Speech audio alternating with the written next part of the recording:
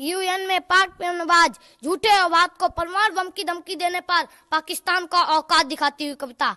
अंधों को दर्पण क्या देना, बहरों को भजन सुनाना क्या? जो रक्त पान कर सकते हैं, उन्हें गंगा नीर पिलाना क्या? हमने जिनको दो आँखें दी, वो हमको आँख दिखा बैठे।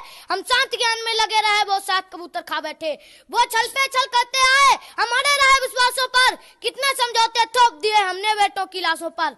अब लाशें भी अब बोल उठी, कितना तन मन पर घात करो। दुश्मन जो समझ सके अब उस भाषा में बात करो। वो झाड़ी है, हम बरगद है, वो बबूल है, हम चंदन है, वो है जमात की वाली हम सिंह का अभिनंदन है। ये पाक तुम्हारी धमकी से, ये धरा नहीं डरने वाली, ये अमर सनातन मिट्टी है, ये कभी नहीं मरने वाली। तुम भूल गए सन पैंसठ को तुमने पंगा कर डाला था, छोटे से लाल बहादुर ने तुमको नंगा कर डाला था।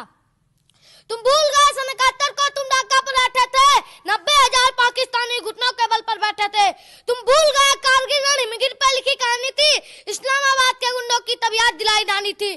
तुम सारी दुर्गुत भूल गए, फिर से सवाल कर बैठे हो। है, उत्तर खुद के पास नहीं, हमसे सवाल कर बैठे हो। बिगड़े किसी बच्चे जैसे अल्फाज तुम्हारे लगते हैं। तुम भूल गए रिश्ते में, हम बाप तुम्हारे लगते हैं। बेटा पिटने का आदि है, बेटा पक्का जिहादी है। लगता है बेटे की किस्मत में बर्बादी ही बर्बादी है। तेरी बर्बादी में हम खुद को बर्बाद नहीं होने देंगे। हम भारत माँ के सीने पे